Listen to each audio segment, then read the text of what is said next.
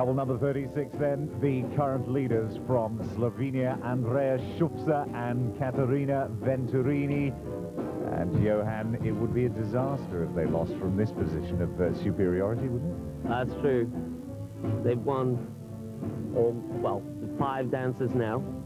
A little slip there, but I still think they're going to manage to win the Latin.